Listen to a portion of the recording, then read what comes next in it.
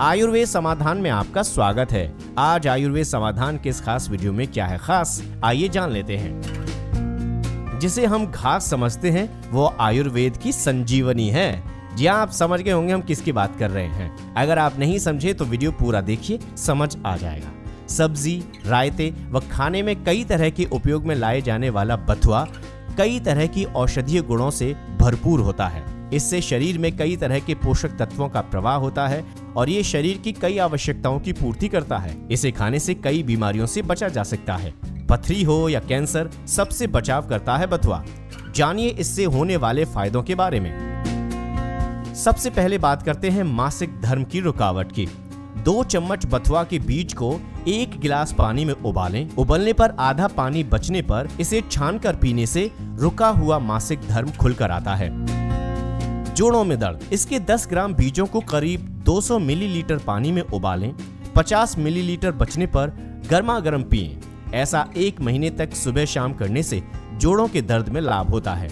इसकी ताजी पत्तियों को पीसकर हल्का गर्म करें और दर्द वाले स्थान पर बांधें। इससे भी दर्द में आराम मिलता है। अब बात करते हैं बथुआ का पथरी के लिए उपयोग। एक गिलास कच्चे बथुए के रस में शक्कर मिलाकर रोज पीने से पथरी गलकर बाहर निकल जाती है। कब्ज में बथुआ बहुत उपयोगी होता है। कैसे? जानते हैं। बथुआ आमाशय को ताकत देता है और कब्ज को दूर करता है। ये पेट को साफ़ करता है, इसलिए कब्ज वालों को बथुए का साग रोज़ाना खाना चाहिए। कुछ हफ़्ते लगातार बथुआ का साग खाते रहने से हमेशा होने वाली कब्ज दूर हो जाती है। सफ़ेद दाग, दाद, खुजली फोड़ा, कुष्ठ और त्वचा रोगों में बथुआ बहुत उपयोगी है बथुआ उबालकर, निचोड़कर, इसका रस पिए और सब्ज़ी, साग बनाकर खाएँ। बथुए के उबले हुए पानी से त्वचा को धोएँ। बथुआ के कच्चे पत्ते पीसकर, निचोड़कर रस निकालें दो कप रस में आधा कप तिल का तेल मिलाकर हल्की आग पर गर्म करें जब रस खत्म होकर तेल रह जाए, तब छानकर किसी साफ़ शीशी में सुरक्षित रख लें और त्वचा पर रोज़ाना लगाएँ इस प्रयोग को लंबे समय तक करने से सफ़ेद दाग दाद खुजली, फोड़ा, कुष्ठ और त्वचा रोग सारे दूर हो जाते हैं। अब बात करते हैं बथुआ का फोड़े के लिए उपयोग। बथुए को पीसकर इसमें सौंठ और नमक मिलाकर गीले कपड़े में बांधकर कपड़े पर गीली मिट्टी लगाकर आग में सेकें। सेकने के बाद इसे फोड़े पर बाँध लें। इस प्रयोग से फोड़ा बैठ जाएगा या पककर जल्दी फूट जाएगा।